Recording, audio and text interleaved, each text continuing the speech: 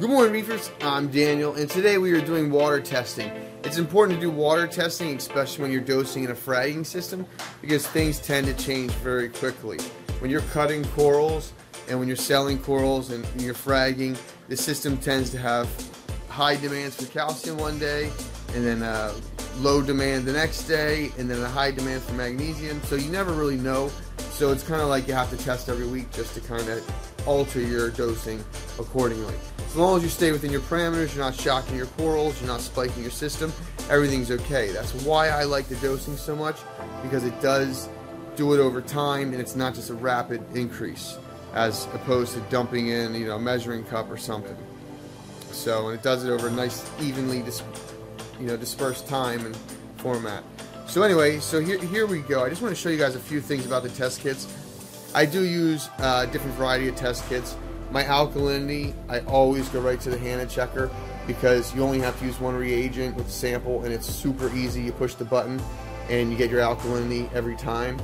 So I'm really happy with that test kit so far.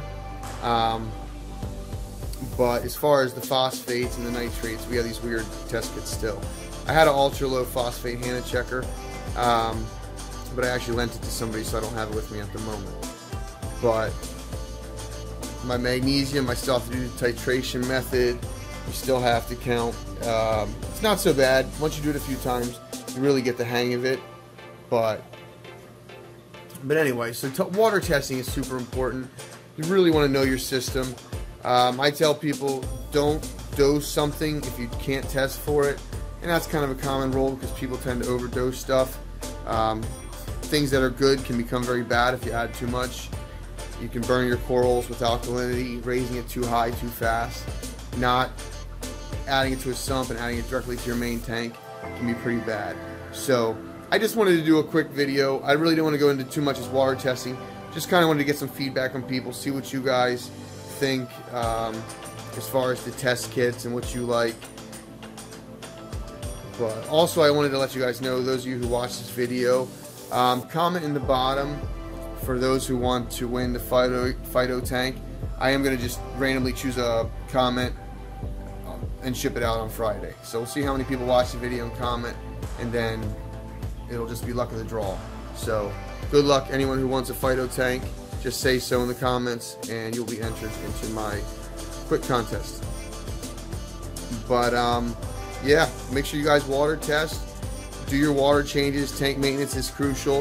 If you don't take care of your system, it will come back to haunt you and things do tend to build up over time and all of a sudden you notice just everything's rapid decay, things are dying, your tank's a mess, and then you want to do 55 water changes trying to clear everything back up.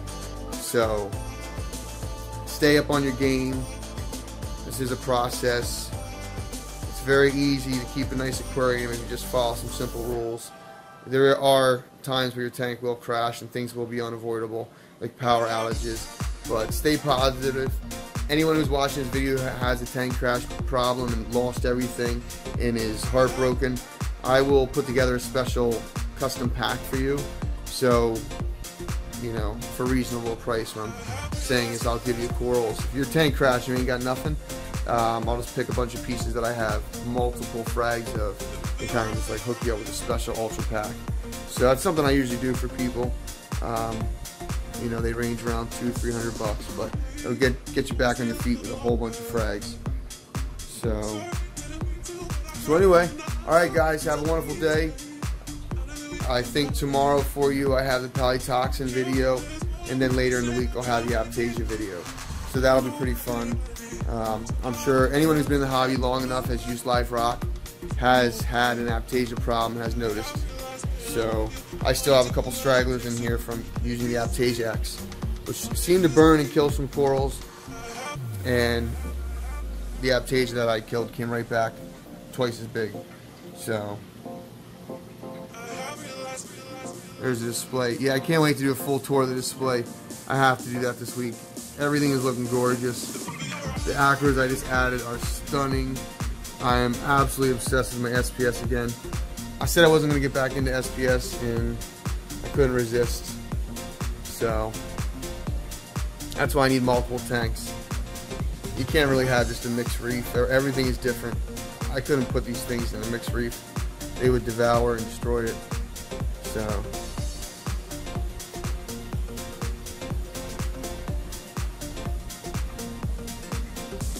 Uh, yeah, see this anemone? He is creeping on my new acro. I may have to go in there and feed this anemone or change the current just to blow it to keep him back down. So, anemones are awesome, but they need their own rock to stay on.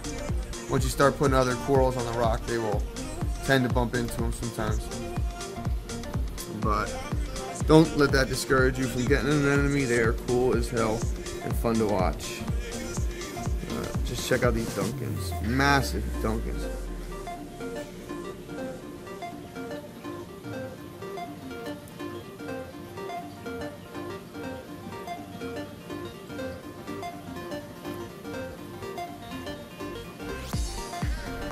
Don't forget to post a comment below if you guys are interested in that phyto tank.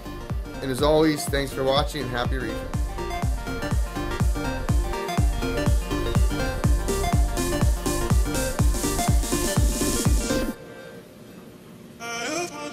reefing.